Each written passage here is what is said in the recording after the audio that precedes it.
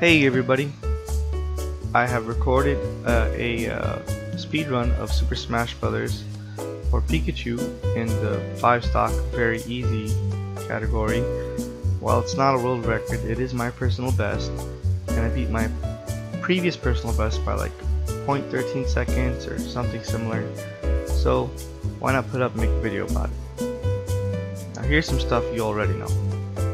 Super Smash Bros. for the Nintendo 64 was released in 1999 on January 21st in Japan and April 26th for North America. And as of December 2014 has sold 5.55 million copies.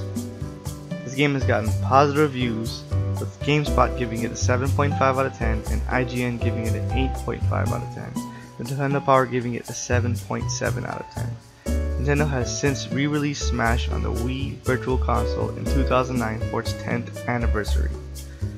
Now here's some stuff you probably didn't know. The original 8 characters order in the selection screen are ordered by their chronological appearance order.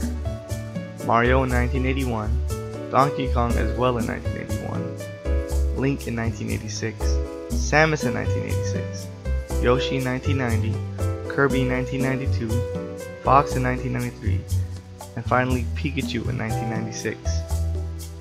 Also, assuming Ninten from Mother and Ness from Mother 2 slash Earthbound are not the same person, the hidden characters order follows the same suit when you exclude the original 8.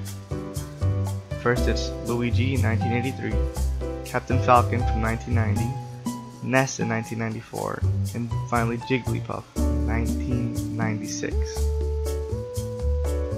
Now, according to speedrun.com, for completing single player mode, Pikashy holds the world record for most characters Luigi, Mario, Donkey Kong, Link, Ness, Kirby, and Jigglypuff. He also holds the record for unlocking all four characters in 25 minutes and 48 seconds.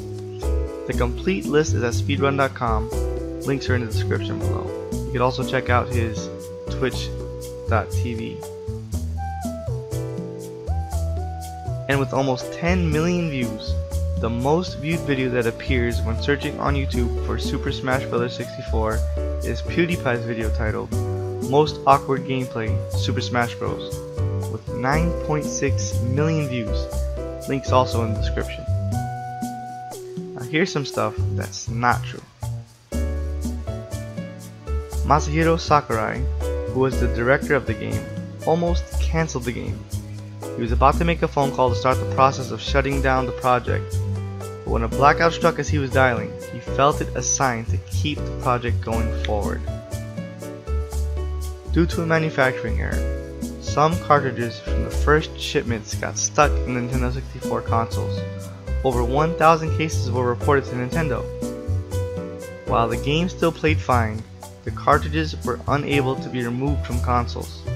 In reference to this, when playing on the Virtual Console, if you hold A and B while also holding up, then pressing plus plus minus plus, you will not be able to exit the game unless you unplug your console. Still in the code of the game, there is evidence that after the Master Hand fight, a second boss fight would reveal a giant Mario controlling Master Hand along with Crazy Hand. It is still possible to activate this fight, but it will require a Game Shark or Action Replay. That's it for that. And according to some research, Super Smash Bros. 64 is currently available on the Wii Shop channel for 1,000 points. That's 10 bucks. You can also try and find a cartridge online and on Amazon. I've seen some for 62 bucks, but I didn't really dig too far into it.